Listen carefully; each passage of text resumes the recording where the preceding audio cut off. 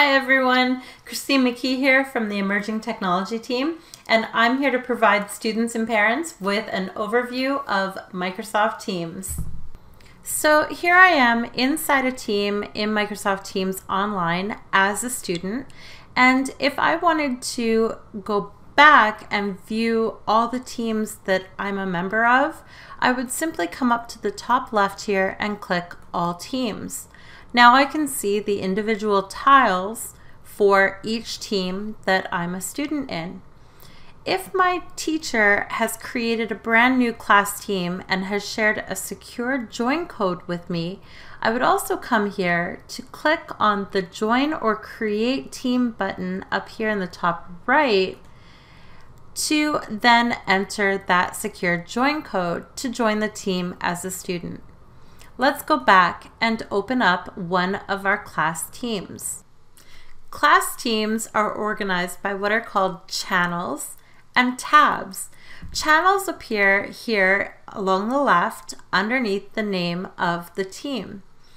Inside each channel, you will see tabs to different sections along the top.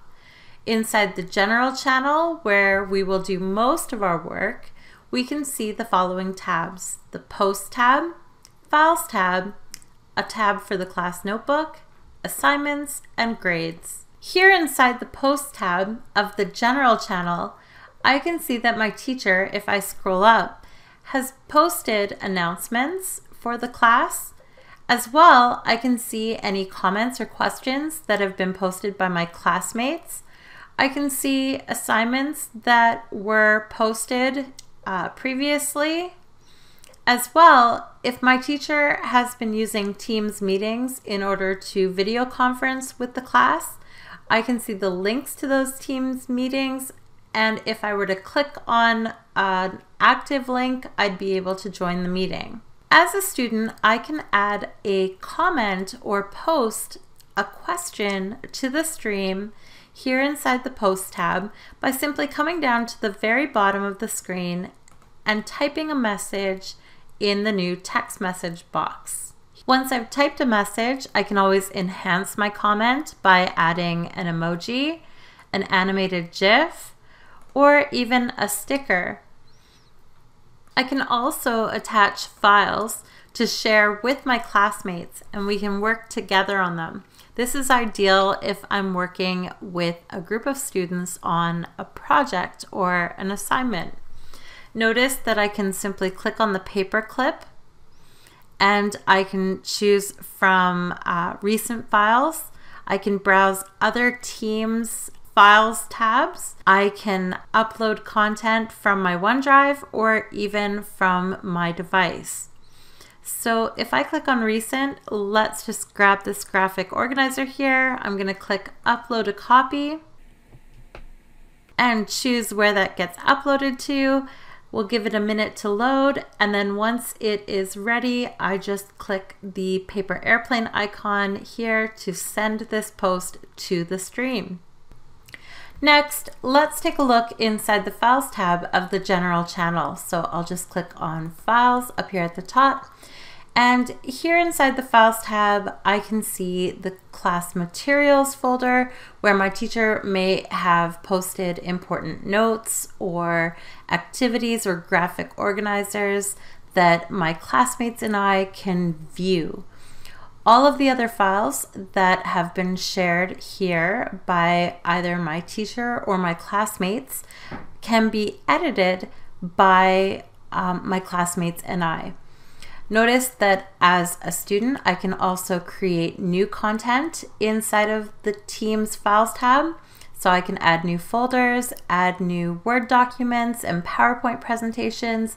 I can even upload files and folders from my device. Keeping in mind that the Files tab is meant to be a space where my classmates, my teacher, and I can store files or documents that we want to collaborate on. The Files tab is not meant to be a space where students share or post their assignments.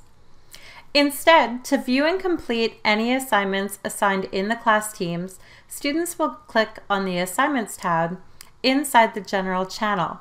Here they will be able to see all the work that has been assigned to them in order of due date.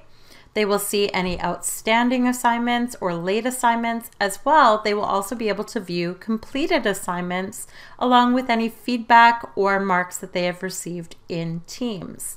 To view inside an assignment as well as to work on that assignment, a student just simply clicks on the assigned task. Here inside the assignment, student can see all the details, including the title, the due date, instructions, a point value if a point value has been assigned. If a rubric was being used to score the assignment, the attached rubric link would be here.